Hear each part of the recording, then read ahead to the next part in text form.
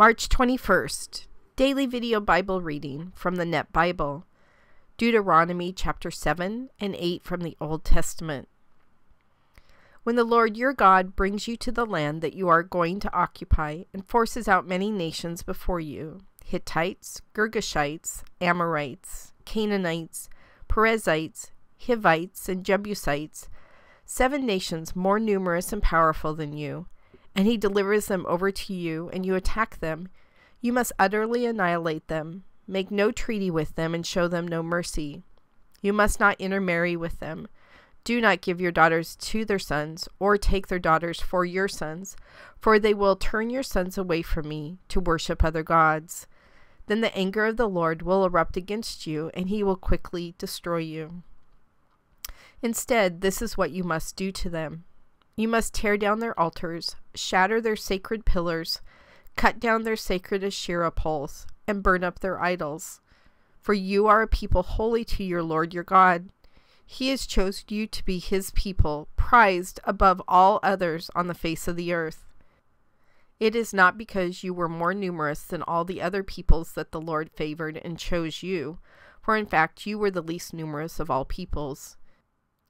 Rather, it is because of his love for you and his faithfulness to the promise he solemnly vowed to your ancestors that the Lord brought you out with great power, redeeming you from the place of slavery, from the power of Pharaoh, king of Egypt. So realize that the Lord your God is the true God, the faithful God who keeps covenant faithfully with those who love him and keep his commandments to a thousand generations, but who pays back those who hate him as they deserve and destroys them he will not ignore those who hate him, but will repay them as they deserve. So keep the commandments, statutes, and ordinances that I today am commanding you to do. If you obey these ordinances and are careful to do them, the Lord your God will faithfully keep covenant with you as he promised your ancestors. He will love and bless you and make you numerous. He will bless you with many children with the produce of your soil, your grain, your new wine, your oil, the offspring of your oxen, and the young of your flocks in the land which he promised your ancestors to give you. You will be blessed beyond all peoples. There will be no barrenness among you or your livestock. The Lord will protect you from all sickness, and you will not experience any of the terrible diseases that you knew in Egypt. Instead, he will inflict them on all those who hate you. You must destroy all the people whom the Lord your God is about to deliver over to you. You must not pity them or worship their gods, for that will be a snare to you. If you think, These nations are more numerous than I, how can I dispossess them? You must not fear them. You must carefully recall what the Lord your God did to Pharaoh and all Egypt. The great judgments you saw, the signs and wonders, the strength and power by which he brought you out. Thus the Lord your God will do to all the people you fear. Furthermore, the Lord your God will release hornets among them until the very last ones who hide from you perish.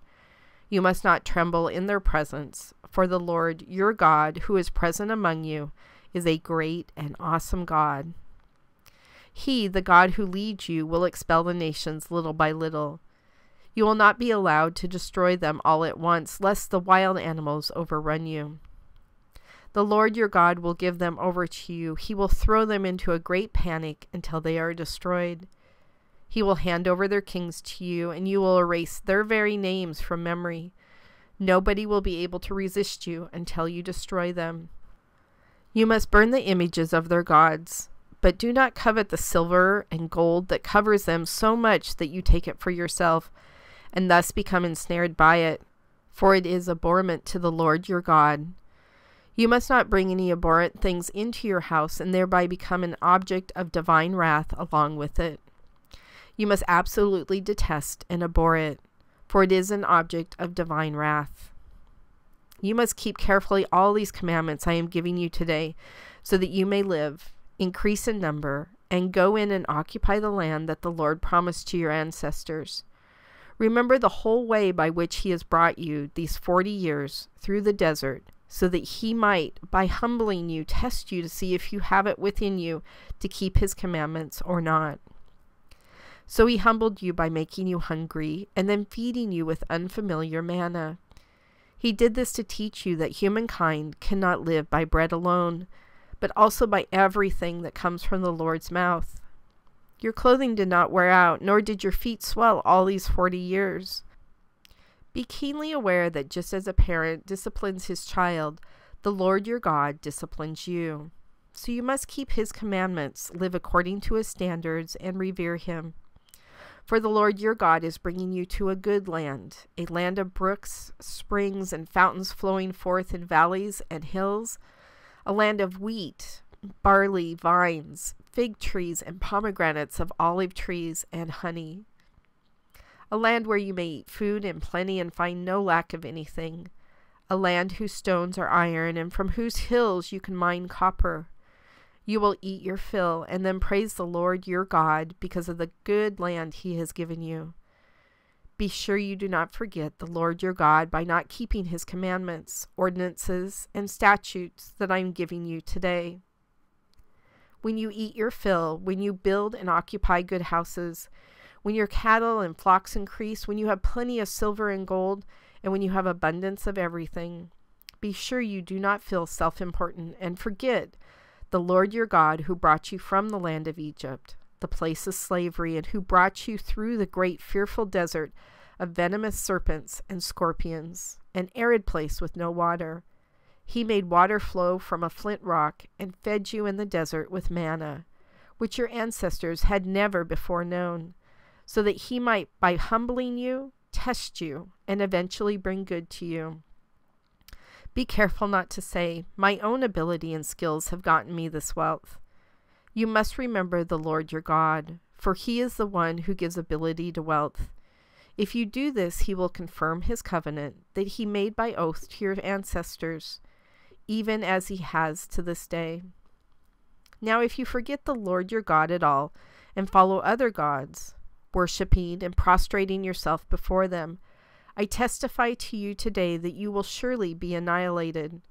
Just like the nations the Lord is about to destroy from your sight, so he will do to you because you would not obey him.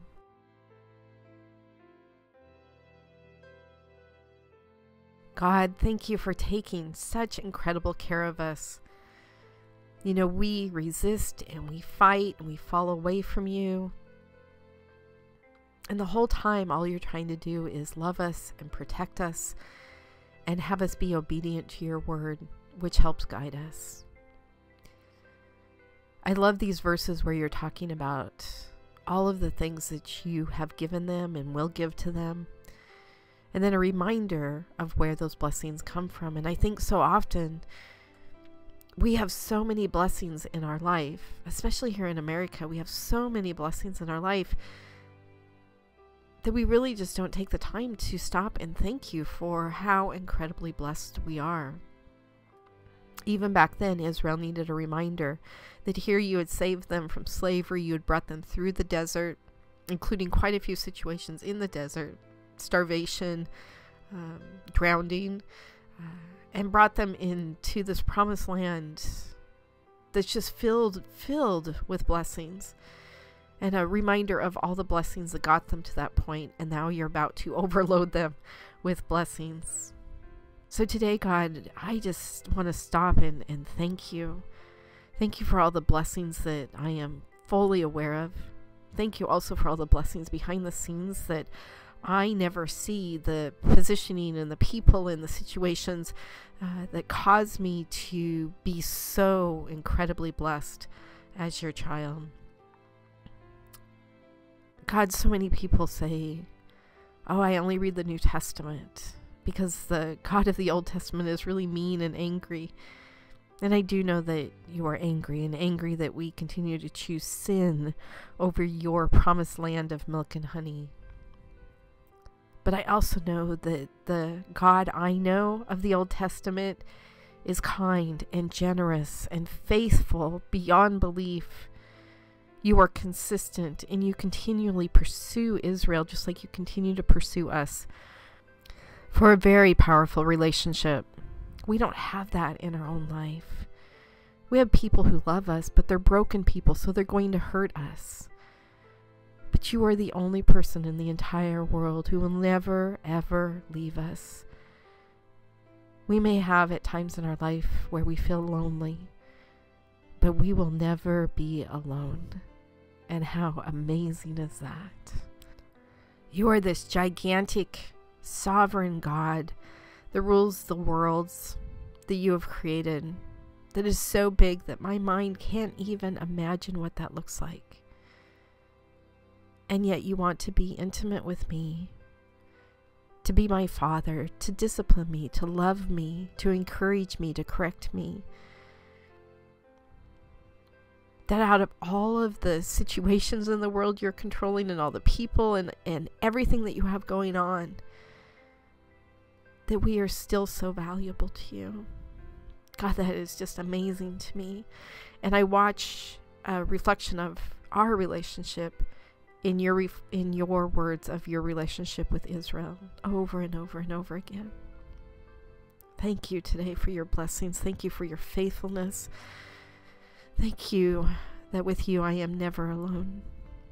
I love you so much. In your son's name we pray. Amen.